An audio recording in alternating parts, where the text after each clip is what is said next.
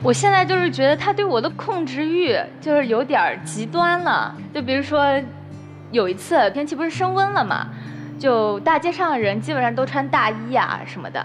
我说我穿一条单裤，穿一条外套，我就可以出门了。他非要逼着我穿一条棉裤、围巾、帽子、棉袜都要给我戴上。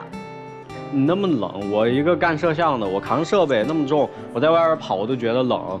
我们重庆那风又带着湿气嘛，然后一吹，我膝盖特别凉。然后我一个男的都觉得冷，你一个小姑娘，那不得更冷？而且你生病了，还不是我得照顾你？我看我不是冻出感冒了，是要被你捂出病来了。他还让我带什么暖宝宝、热水袋，一窝蜂全给我带上。这哪有像你这样的？我问一句啊，男生对你们这段情感怎么看啊？有过规划吗？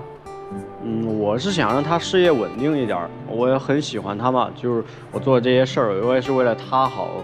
就我是后面我是想跟他结婚的，一直走下去。你们讨论过这个问题吗？讨论过啊，但现在这状况，我怎么跟他结婚呢？我感觉我结婚之后，我的人身自由就一点都没有了。之前有一次，我直播那边好不容易申请到一个活动，我出差了，他说他给我准备行李。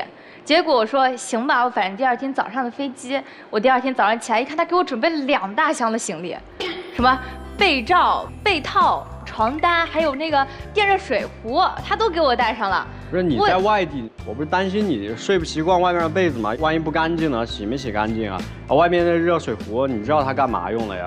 我也是担心你啊。不是，我就去两天，你给我带那么多东西，我拿得下吗？不是飞机都托运不了。哎，这都算了。那我说我下了飞机，我看到一个陌生的男人举着我的名字，然后我过去一问，然后他说是我男朋友请来的朋友，就是要照顾我这两天。我寻思行吧，反正多一个向导嘛也行。结果那个人他除了我休息的时间，他过来带我去吃吃逛逛，就连我工作的时候他都要守在边上。他那个朋友就要在边上盯着我。干嘛呢？不是我朋友也没上来捣乱，主要是我看他。去外地人生地不熟的，我湖南那边刚好有个朋友嘛，他在那边上上班都两三年。臭小子，你告诉我你是不放心你女朋友？我是比较担心他，我怕他担心他什么？怕他迷路啥的，刚好可以带他玩一下。我朋友，哎，你怎么会这样的呢？他是不是控制欲有点太强？你怎么不跑呢？我不是搬出去了吗？搬出去了不叫跑啊！你今天来的目的是什么呢？